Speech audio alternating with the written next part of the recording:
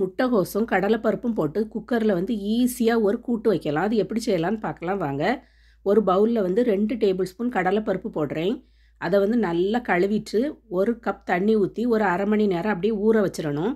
இப்படி ஊற வைக்கிறதுனால கடலைப்பருப்பு வந்து சீக்கிரம் வெந்து வந்துடும் ஒரு குக்கரில் ஒரு டேபிள் ஸ்பூன் எண்ணெய் ஊற்றிருக்கேன் எண்ணெய் சூடான உடனே கொஞ்சம் கருவேப்பிலை போடுறேன். கருவேப்பிலை வந்து நல்லா பொறிஞ்சு வரணும். கருவேப்பிலை பொறிஞ்சி வந்தோடனே ஒரு பெரிய வெங்காயத்தை வந்து நீள நீளமாக கட் பண்ணி வச்சுருக்கேன். அதை போடுறேன். போட்டுட்டு நல்லா கிளறி விடணும்.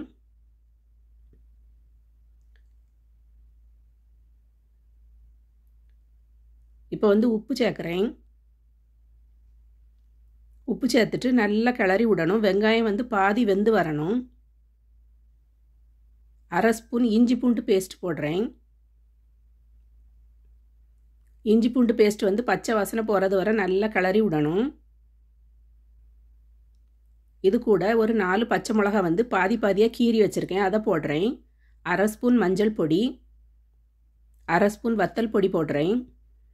இப்போ இது எல்லாத்தையும் நல்லா கிளறி மசாலா வந்து பச்சை வாசனை போகிறது வரை கிளறி விடணும். ஒரு மீடியம் சைஸ் முட்டைகோஸில் வந்து பாதி கட் பண்ணி வச்சுருக்கேன். அந்த முட்டைகோஸ் கட் பண்ணியிருக்கதை போடுறேன். போட்டுட்டு நல்லா மிக்ஸ் பண்ணி விடணும். அந்த முட்டைகோஸில் அந்த மசாலா எல்லாம் நல்லா கலந்து வரணும். முட்டைகோஸ் வந்து ஒரு ரெண்டு நிமிஷம் அந்த எண்ணெயிலே நல்லா வெந்து வரணும். அதனால் கிளறி விட்டுட்டு ரெண்டு நிமிஷம் அப்படியே விட்டுருங்க. இப்போ ஊற வச்சுருக்க கடலைப்பருப்பு வந்து சேர்க்குறேன். கடலைப்பருப்பை போட்டுட்டு நல்லா மிக்ஸ் பண்ணி விடணும். அதுவும் ஒரு ரெண்டு நிமிஷம் அப்படியே எண்ணெயில் வெந்து வரட்டு. அந்த முட்டைகோஸில் உள்ள தண்ணி எல்லாம் நல்லா வற்றி வரணும். இப்போ முட்டைகோஸில் உள்ள தண்ணி எல்லாம் நல்லா வற்றி வந்துட்டு இதை நல்லா கிளறி விட்டுட்டு இதில் வந்து ஒரு கால் கப் தண்ணி ஊற்றுறேன் ரொம்ப தண்ணி ஊற்றக்கூடாது இப்போ நல்லா மிக்ஸ் பண்ணி விட்டுட்டு குக்கரை மூடி ஒரு மூணு விசில் வச்சு எடுக்கணும். நம்ம வந்து கடலைப்பருப்பு ஊற வச்சுருக்கிறதுனால ஈஸியாக வெந்து வந்துடும்